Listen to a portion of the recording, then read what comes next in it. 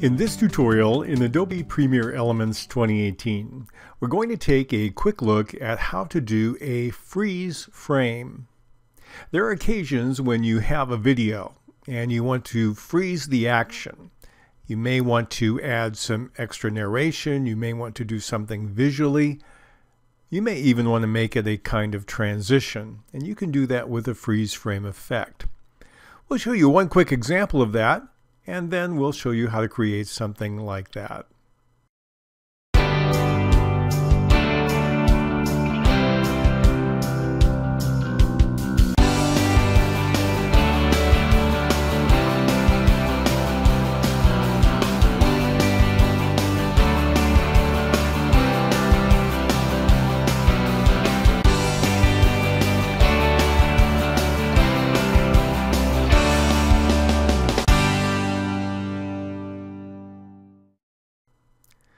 All you need to do is find the frame where you want to freeze your action. I'm going to play a little bit of this video and we have the camera going up as we zoom in on the businesses on this corner as we try to sell some of this vacant property you see here to someone.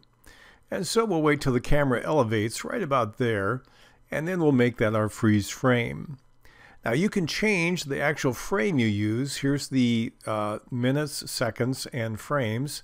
You can click the right arrow, step forward, or you can do the step back. And you notice the frame number changes.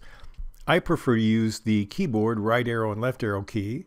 So let's go to frame number 27 in second 14, and that's where we'll freeze our action. In order to make it happen, we click on the tools at the very top and choose the third item down, which is freeze frame. Now, we have a pop-up screen that gives us some very useful information.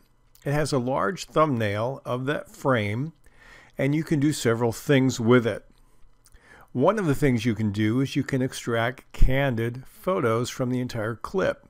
Now, this is a very powerful new tool in Premiere Elements 2018. It's so full-featured, we'll have a separate tutorial on that, so we'll skip that button for now. Uh, you can also simply, without modifying your video, export that frame as a picture. So if I click on the export button, it wants a name for it. I'll just call this uh, a test. And then you can put a file location. You can choose whether you want a JPEG, BMP, or GIF file extension. And then I click on save.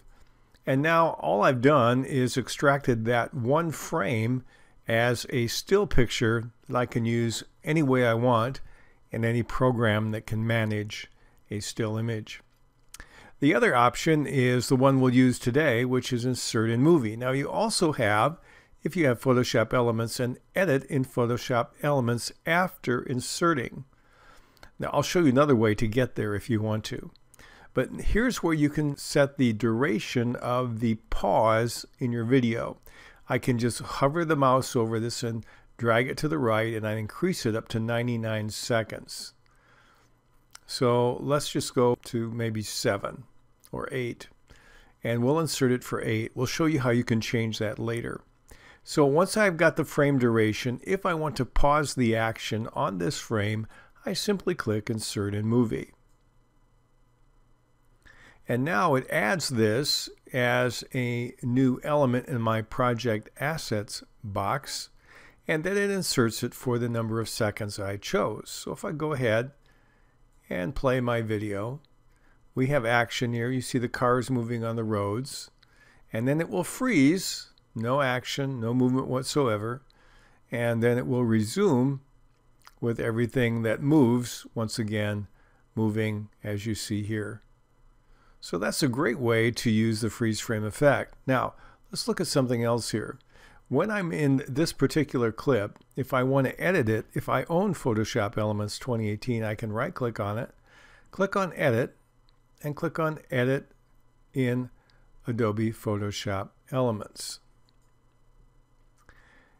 And for example, I could go over here into my effects mode or maybe my adjustments mode. I could take my color, turn my saturation all the way down so it's black and white. And I can click on File and I can click on Close. And do I want to save the changes? I'll say yes. It wants a name for it. I'll click on save. Do I want to replace it? Yes. And I'll click on OK. And now I'm going to close my Photoshop editor. And now if I look very carefully, what happened was I have now the same file in the edited format. It's color until I get to my freeze. When I get to my freeze frame, not only does it freeze the action, it changes the color. Now you could change all kinds of other things in Photoshop. You could add text, um, you can make other variations, but it's just an interesting way to combine the abilities of both of the programs. So that's a very simple way to freeze a frame in Adobe Premiere Elements with or without using the additional tools of Photoshop Elements.